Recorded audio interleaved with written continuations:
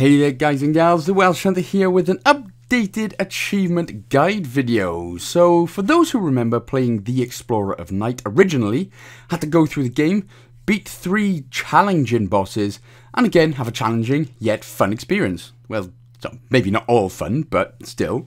Uh, but now Xitilon, the publishers, have been on an almighty changing achievements so the game is simple to complete binge.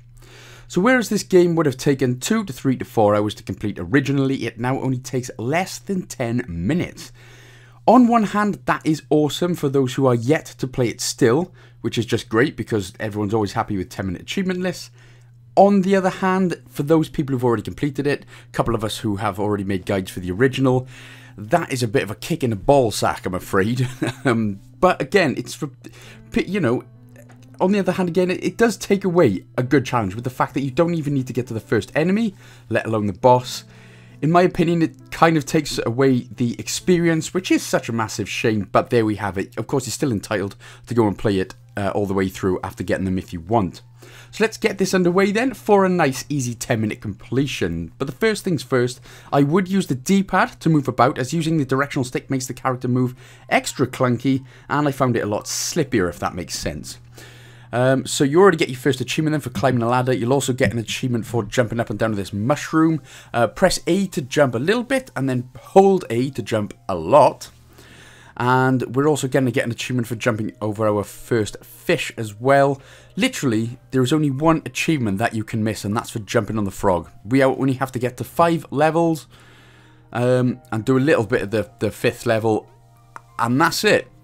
like I said, from a game that was supposed to take 5 hours, uh, 4 hours, 3 hours, it now takes 10 minutes. So achievements are going to...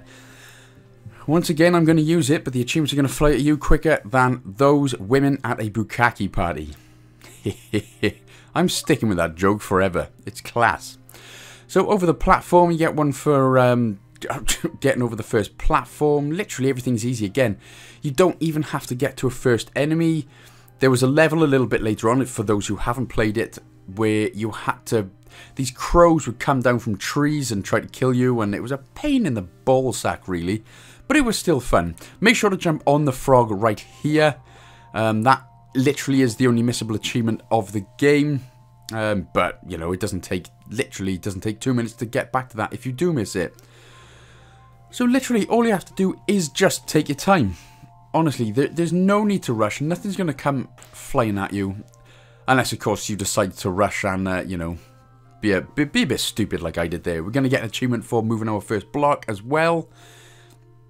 Uh, yes, yeah, so just try... I've obviously been through the game once, so I tried rushing it, which which is just wrong. You don't need to. You can just literally take your time. I mean, it's a nice setting, and it's a really lovely game. So, again, I just feel a bit, you know, Xitilon have made the, you know, the game's been made. I just, you know, even if they put in a complete the game achievement as well, whether people would have wanted to do it or not, it was completely up to them. But I feel like it's kind of a waste now where they've gone through all this effort to make all this game, and it's like you only have to get to the first five levels. There we go. Okay, so we are now uh, past the third level, on to the fourth level. Be careful with these logs, they're just going to come down the waterfall. Be careful here as well. You have to wait for the bottom uh, platform to come back. rather than jump on the first one there, as you would have seen me making the mistake. And again, these waterfalls, they're easy enough, but again, if you do end up rushing it, you can actually miss a jump, fall into the water, and you will die. Again, it's not too bad. In later levels, it was definitely more of a pain in the butt snatch, uh, purely because if you got near to the, obviously the levels got a little bit longer. If you got to the end, you die, you go all the way back to the beginning. Oh, did remotes get thrown? Yes. Uh, jump up on this mushroom here and then get to the uh, platform at the top there. If you do end up missing, I'd recommend going on the ledge to the right of the mushroom and sort of um, doing a big run up. If you make, if you find that easier, which you will see me doing now, just go, jump to the uh, platform on the right and then just do a big run up. That'll probably be a lot easier for you. So nothing to do, just jump off on the left. You can't actually use the A button to jump. You've got to sort of uh, climb the ladder and then just go left. We'll get an another achievement for dropping the block right here. And this is where I stupidly died. So again, take your time right here. Wait until the, the logs come up at the top. Uh, for some reason, I forgot to press the uh, a, a, button to jump. But we'll just get it. Just ignore that. The power of editing makes it all worthwhile. There you go. Nothing happened. And we got another achievement. So there we go. And that should be that. Again, the fish, that's not really an enemy. You don't have to do anything with that. Take your time on this next waterfall. Bit of logness. And jobs are good and kid.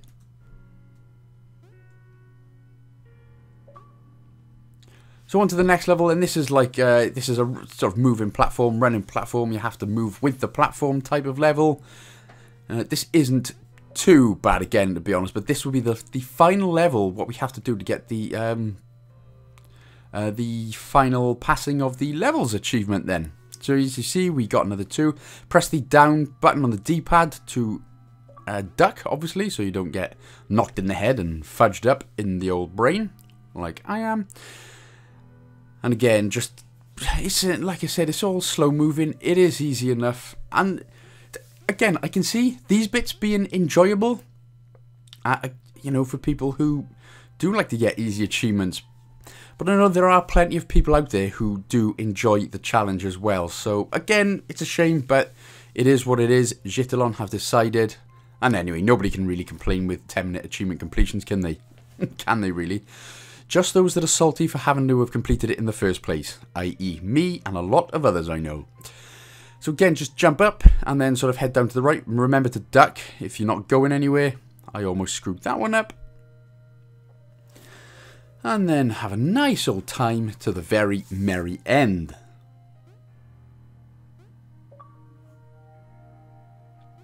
Okay, so this is the...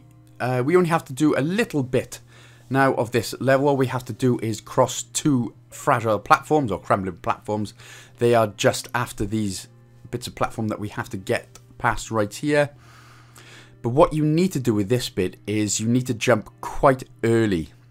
So as you can see, the one on the right gets there before the one that you're on. So you have to jump quite early and quite high. So keep hold of that A button to jump big and jump large and you should be okay. Only four you have to do jump up. These are the fragile platforms, and then that's it then, guys and gals. So there we go. Literally, that that took me, even with a few mistakes that I'd done earlier, that took me nine and a half minutes. So it should take you no problem. But there we go. That is the updated achievement list. What I would say is how, uh, keep a lookout for more updated achievement lists from Xitilon as I fear that they are going to be getting easier for certain games. Not sure which ones, but we'll soon wait and see. But that's it then from me guys and gals. Thank you so much for watching. Hope this updated achievement guide has helped. You get another easy thousand out of a thousand and another platinum. And with that being said, thank you very much for watching guys and gals. See you in the next one.